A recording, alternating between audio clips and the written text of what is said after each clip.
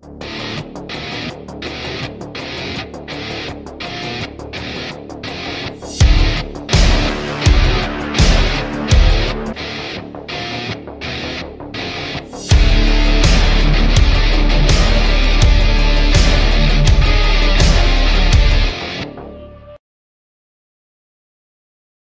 Hello and welcome back to Jack Knives Reviews. I am of course your host, Jack Knives. Today I will be reviewing the long-awaited Disney sequel, Disenchanted.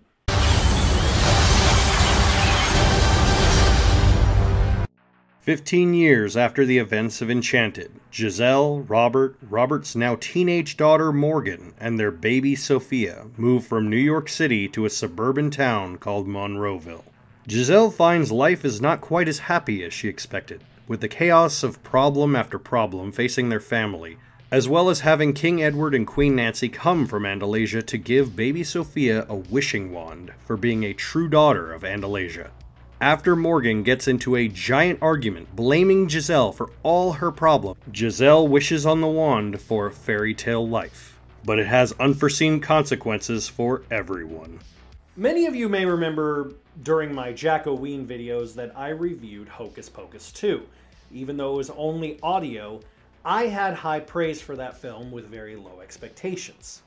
And honestly, I was expecting it to be just a simple cash grab of, you know, the Hocus Pocus franchise with very little critical fare and just trying to, you know, cut and paste the original, add one or two minor things and get a quick paycheck. And it wasn't that at all. It was actually pretty well done. It had a lot of heart to it and it felt genuine compared to the original. This is exactly what I was talking about.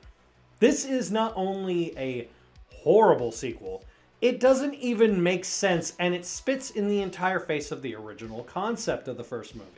What made the original so good and unique was it played on the preconceived notions of Disney tropes. You know, meeting a person, falling in love, getting married within less than 24 hours. Even Frozen covered it, but Enchanted did it first. And what made it so unique was it also took this idea of what if a Disney fairy tale character came into the real world and how would that affect the real world? This takes the same concept and goes, what if the real world became a fairy tale? That concept has been done so much. It, it's been done literally to death. In fact, Disney really did that show already. Once Upon a Time. And it did it better in Once Upon a Time.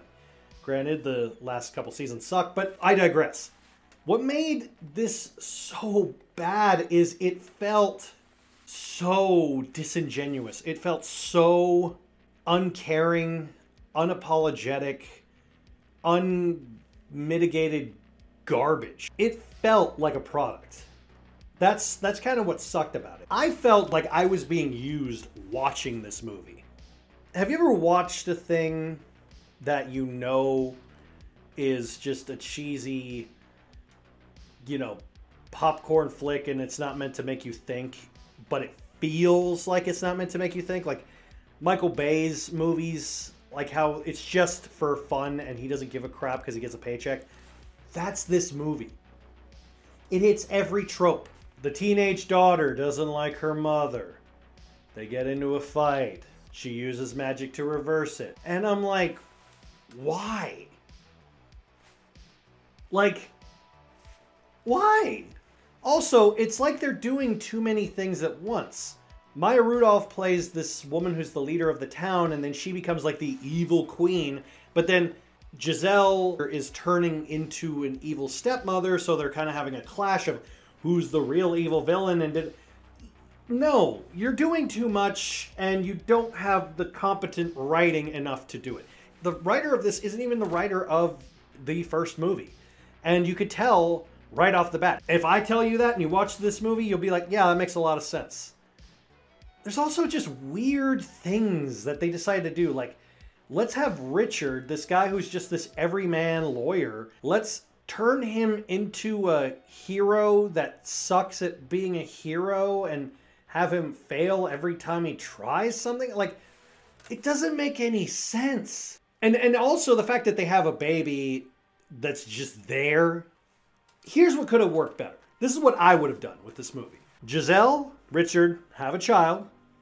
Child reaches of a certain age, having grown up in the real world, goes into Andalasia and tries implementing the things of Andalasia based off of the real world and kind of turns the whole culture of Andalasia upside down, inadvertently opens a curse, you know, something like that. That's how you flip reverse it, not adding magic into a world that already uses magic.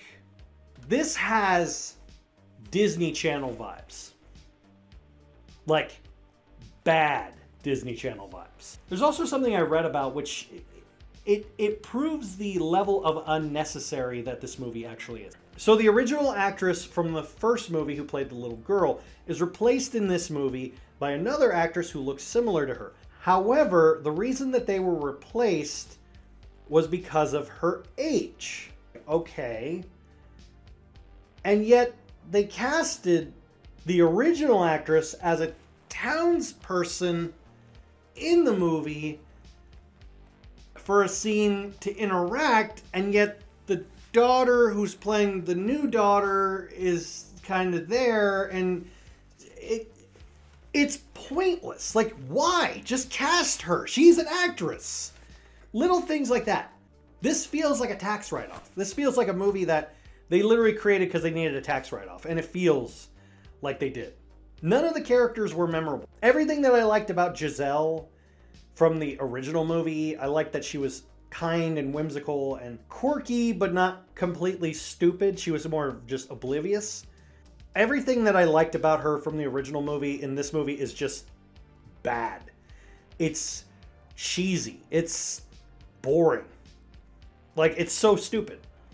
It also doesn't even make sense to its own continuity of its own movie series because there's a part at the beginning of the movie where Giselle breaks out in a song, which is what she always does, and no one, no one dances or sings with her. That's literally what happened in the first movie. She starts singing and dancing in the park, and then everyone sings and dances, and Richard makes a comment of it and going, How does everyone know this choreography? He literally makes that comment. That was funny. They could have actually done that. They could have done something with that and been like, Hey, maybe you could do a dance routine down the street and we can get free plumbing. Or something stupid that would have made more sense. Anything like that. Any of those concepts could have been done well. If you had a better writer, a better script, and better direction. But all three of them failed. I obviously don't blame the actors because they were just there for a paycheck, so I don't really care, you know, how it affects them. But it just, it, it literally, it's like a check mark of how not to do a sequel. And it made me just want to turn off my TV after I watched it. I give Disenchanted one out of five. Have you seen Disenchanted? Let me know in the comments down below. Till then, I'll see you next time.